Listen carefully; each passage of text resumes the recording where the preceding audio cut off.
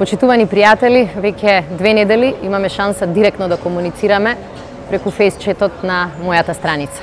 Сакам да ви кажам дека за мене е и чест и задоволство да имам директен контакт со илјадници мои сограѓани, илјадници пријатели, симпатизери, па и неистомисленици. Во минатото честопати бев сведок дека директните идеи, коментари и дебати кои што ми ги упатувавте на мојата лична страница, на мојот личен профил, знаат да направат разлика. Знаеа некои прашања да ме замислат, знаеа некои коментари да ми дадат идеја и за нив бев особено благодарна.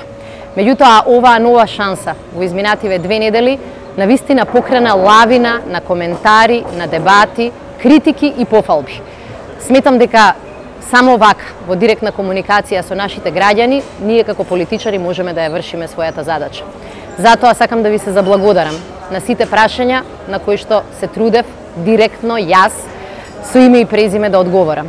Се трудев да одговорам и додека патував низ цела Македонија, се трудев да одговорам директно и кога бев во канцеларија, па или, до, или дома. Ми представуваше задоволство да видам дека и младите и возрастните во оваа држава сакаат државата да биде подобра. Сакаат да помогнат да се подобрат состојбите, да се придвижи економијата, да направиме праведна и напредна држава. Со задоволство ги читав вашите коментари и вашите идеи. Се трудев да одговорам на секое прашање. Сакам да ви кажам уште една работа. Пред нас се уште неколку дена кампања, меѓутоа пред нас и 4 години мандат, во кој што само власт која ќе знае искрено и директно да комуницира со граѓаните, ќе даде одговор на вистинските предизвици и вистинските прашања во Македонија. Без лага, без шминка, без нарачани анкети и без реклами. Ке продолжам и како човек, и како политичар, и како иден премиер, да бидам на ваше располагање. Да разговараме директно и за работите кои што се добри, но уште повеќе за работите кои што болат.